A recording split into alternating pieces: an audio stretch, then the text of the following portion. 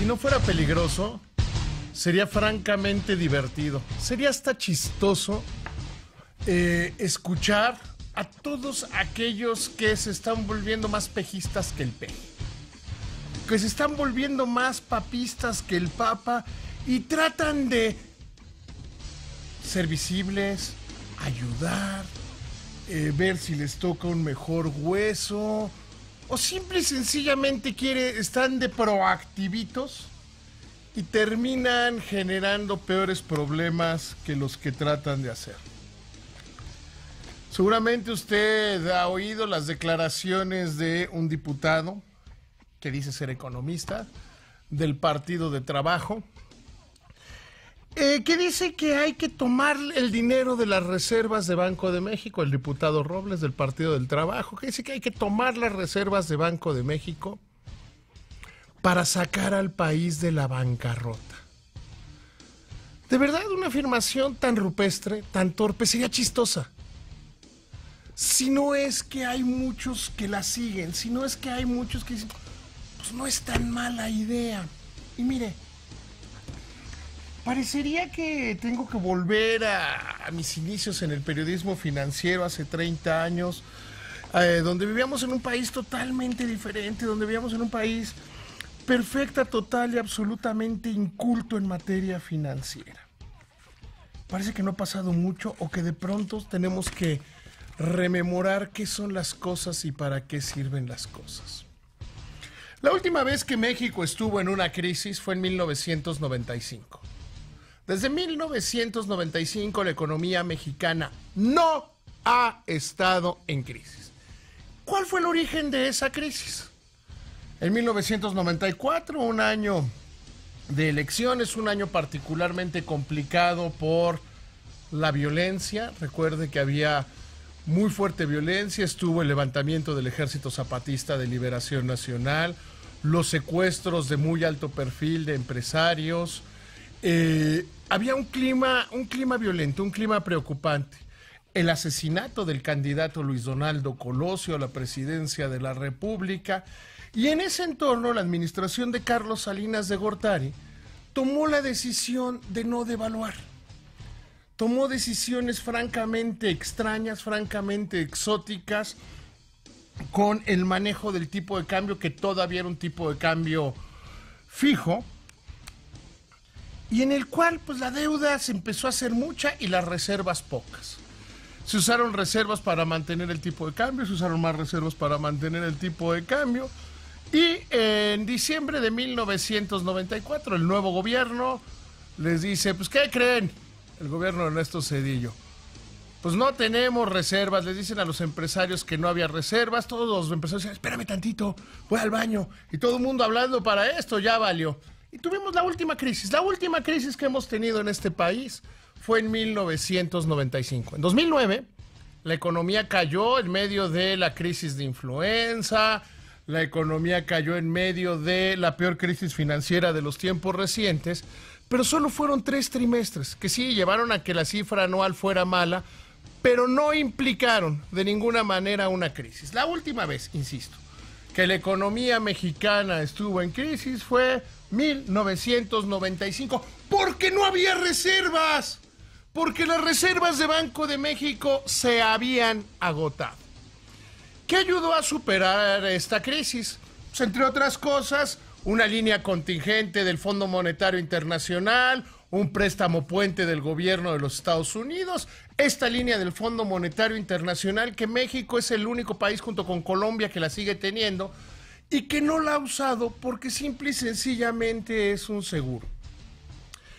A partir de ahí se dijo, bueno, tenemos que tener reservas, tenemos que ir haciendo crecer las reservas internacionales y que éstas nos ayuden a, a lo que son un, un amortiguador, un escudo, una línea de defensa en contra de los ataques especulativos en contra de la moneda. Entonces, Ciertamente, como dice el diputado Robles, a nosotros no nos han dado nada y tampoco tendrían por qué darnos nada. O sea, a nadie nos han repartido un dólar.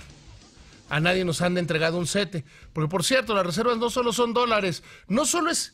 Hay gente que tiene la idea muy rupestre de que las reservas son como el guardadito, los cambiecitos que te van sobrando, que ahí los vas guardando en un bote. No, es toda una decisión de política monetaria y de manejo de los recursos para ir teniendo ese dinero para las contingencias. Parte está en dólares, eh, en algunas otras divisas y parte está en CETES.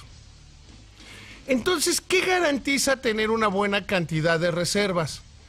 Que el país tiene capacidad de enfrentar los ataques especulativos con las reservas, con la línea del Fondo Monetario Internacional, con los CETES, y eso permite que la especulación no derive en alza de precios, que es el objetivo final de Banco de México. Estos individuos, repito, rupestres, repito, que a lo mejor creo que pues, con la mejor de las voluntades están, veme papi, veme papi, yo puedo, yo puedo, porque quieren ganar algo, quieren darse a notar, quieren sus malditos cinco minutos de fama. Entonces se les ocurre hacer sus superdeclaraciones, ¿no? Vamos a gastarnos las reservas.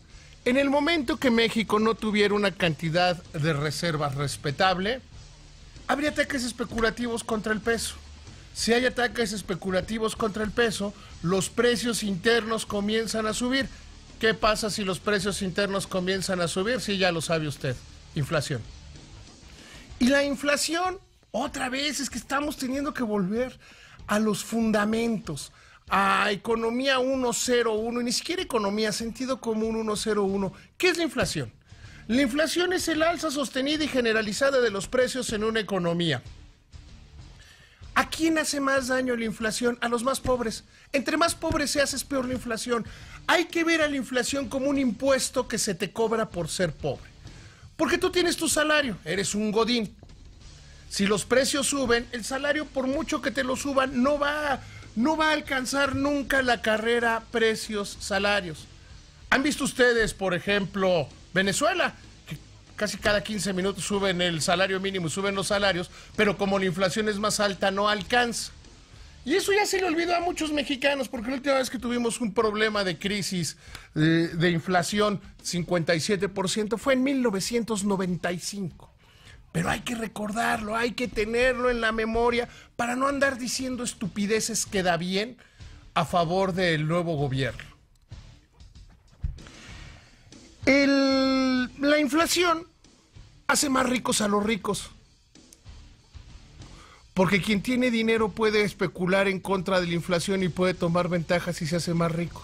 En cualquier lugar del mundo, en cualquier lugar del mundo donde la inflación es más alta, los ricos se vuelven más ricos y se vuelven menos, se concentra la riqueza y el número de pobres crece. Entonces, ese es el mandato central de Banco de México, procurar la estabilidad de precios. Si agarráramos las reservas y dijéramos, ¿qué creen? Les vamos a pagar a unos que no están esperando que les paguemos, porque ni siquiera así funciona en el mundo. No hay un solo país que no tenga deuda. Eh, países como Estados Unidos tienen deudas superiores a su Producto Interno Bruto. El problema de las deudas es si no las puedes pagar. Esa idea rupestre, esa idea cavernaria de que es malo deber, es sacada de una película de Pedro Infante. Toma chocolate, paga lo que debes. Yo duermo tranquilo porque no debo. Claro, si no debes, no tienes acceso al crédito. Si no tienes acceso al crédito, pues no tienes acceso a una gran cantidad de bienestar en la vida. Se lo voy a decir muy claro. ¿Por qué cada vez más mexicanos tienen casa? Yo vengo de una generación donde mis papás decían, ah, ya me compré mi casita, con esta me sacan de los pies por delante. Y hoy, cada vez más mexicanos tienen casa. Porque la baja inflación, la estabilidad económica han permitido 17 años de crecimiento en el crédito. Y el crecimiento en el crédito permite que usted, sí, usted, tenga una casa, que la pueda pagar, que ya tenga su casito, que ya vaya en la segunda. ¿Ya entendió por qué es importante tener baja la inflación? Y que ese es el mandato de Banco de México y que por eso se necesita tener reservas. Porque esas reservas evitan ataques especulativos, evitan que los precios internos suban y toda esa ecuación genera bienestar especialmente para los más pobres. Quien tiene dinero, quien puede especular, se beneficia de inflaciones altas. Muchas de las grandes fortunas de este país se hicieron en la época de las crisis de los 70s, 80s. Quienes podían especular, los cazabolseros, aquellos que los gobiernos populistas de aquel entonces les llamaban los riquillos compradólares. Si tenías dinero, comprabas dólares y la inflación y la devaluación te hacían lo que el viento a Juárez. Perdón porque se me ocurrió una vulgaridad, pero era más específica. Pero vamos, dejámoslo en lo que el viento a Juárez. La estabilidad económica en sí misma es un valor. Entonces, si sale alguien y nos dice, no, es que vamos a pagar la deuda. Oye, güey, ¿es la mejor manera de usar el dinero? Es la mejor manera de usar el dinero. Pagar una deuda que tienes a tasa fija, plazos controlados y que esa deuda este, no es un problema. ¿Es la mejor estrategia pagar la deuda? llegar con los acreedores internacionales. Oiga, les venimos a pagar. ¿Sabe qué harían los acreedores internacionales? Agarrarían, ah, gracias, ven, me especulo contra el peso y me hago más rico. Y hago más pobres a los mexicanos. ¿Ya me está entendiendo? La tremenda, la gran, la bárbara, la monumental estupidez que es decir, hay que tomar las reservas para pagar. Otra. Otros absurdos, otros ridículos, dicen, no, Vamos a agarrar las reservas para meterlas a los proyectos productivos del Plan Nacional de Desarrollo. Eso de querer agarrar, o sea, el dinero les quema las manos. Dinero maldito, hay que deshacernos de él. Ok, proyectos productivos. ¿Van a generar dinero esos proyectos o no van a generar dinero? ¿Van a tener rentabilidad o no van a tener rentabilidad? Pero más allá, vuelvo y digo, si nos acabamos las reservas y hace una crisis, entonces tampoco se pueden hacer los proyectos productivos o se vuelve a generar inflación y al generarse inflación, otra vez, los más pobres son los más dañados. La inflación hace más pobres a los pobres. No me crea a mí. Agarre, agarre su teléfono y vea cualquier estadística internacional de inflación y pobreza del Banco Mundial, del Fondo Monetario Internacional, de donde quiera, de donde quiera. Y se va a dar cuenta que lo que le estoy diciendo es tremendo. Así las cosas, volvemos. ¿Cuál es el mandato de Banco de México? Preservar el poder adquisitivo de la moneda. No debe ser otro. Hay algunos que ya se ponen más creativos y dicen, deberíamos tener un Banco de México con un mandato dual como lo tiene, no sé, el sistema de la Reserva Federal de los Estados Unidos. No dicen el sistema federal de los Estados Unidos porque suena fifí decir los gringos. Ah, vamos a darle un mandato dual. ¿Verdaderamente es lo mejor que podemos hacer darle un mandato dual a Banco de México, darle una atribución adicional? Preguntémonos en serio, ¿eh? ¿es la mejor manera? ¿Es lo, ¿Es lo óptimo? ¿O es nada más? Porque como López Obrador, el presidente electo, hizo una declaración bastante confusa sobre Banco de México y la bancarrota, y luego salieron los, los exégetas del presidente electo, y luego salieron los columnistas del realismo mágico que escriben unas verdaderas imbecilidades sobre lo que supuestamente creen que pasó, lo que se imaginan que pasó y la reacción, y que llegan a puntos como decir, no, el gobernador de Banco de México quería renunciar, pero unos empresarios lo convencieron. ¿De veras creen que el gobernador de Banco de México es tan voluble como para decir, sale de la reunión y quiere renunciar? O sea, entonces tiene como carácter como de niño de tres años berrinchudo, ¿no? Pero luego unos empresarios, ¿qué empresarios? ¿Cuáles empresarios? ¿Lo mandan los empresarios? Otra vez, la estupidez, la inverosimilitud. Eh, y yo, mañana lo publico en mi columna, yo cuando oigo que alguien dice los empresarios, me imagino que estoy leyendo una revista del corazón, así de esas, de prensa del corazón, que siempre que sale el güey que le carga la bolsa a la actriz o a la cantante, dicen, el empresario Pedrito Pérez. Y todo el mundo, ¿y de qué empresa? Parece que la empresa es cargarle la bolsa a la famosa, ¿no? O sea, de que uno nunca sabe qué empresas tiene, ni de dónde son. Entonces, salen quienes dicen, vamos a darle el mandato dual a Banco de México y vamos a hacer que el Instituto Central promueva el crecimiento. pues mejor lo dejamos que siga haciendo lo que está haciendo, ¿no? Combatir la inflación. En la medida que Banco de México combate eficiente y eficazmente la inflación, estaremos en sustancialmente mejores condiciones. La inflación beneficia a quien tiene dinero ahorrado, a quien puede especular, a quien puede comprar dólares y pasa a joder a quien tiene menos dinero. ¿Por qué no mejor le decimos, oye, Banco de México, apriétale, apriétale, papito, porque la inflación está en 4.80 tasa anual? ¿Que hay razones? Sí, sí, las que quieras. Papito, la metes 4, ¿eh? Y haz lo que tengas que hacer. ¿Y qué es lo que tiene que hacer Banco de México? Primero, ser una voz confiable y fuerte. Que su autonomía sea respetada. Andar jugando que nos metemos con la autonomía de Banco de México es andarle buscando tres pies al gato. Es estarlos poniendo en situaciones complicadas. Oye, papito, ¿qué es lo que tienes que hacer? Subir las tasas de interés. ¿Vas? Oye, vamos a crecer menos. Sí, pero vamos a controlar la inflación que daña a los que menos tienen, que daña a los más pobres, que hace que la gente se vaya a la pobreza. Si los precios suben más despacio, si los precios suben más lento, lógicamente el poder adquisitivo de la gente se mantiene. Eso es lo que tenemos que hacer. Afortunadamente, afortunadamente, y lo digo con todas sus palabras, Solo hemos visto a diputados como Robles que quería sus cinco minutos de fama. Solo hemos visto a algunos que están buscando alguna llamadita de atención que los volteen a ver.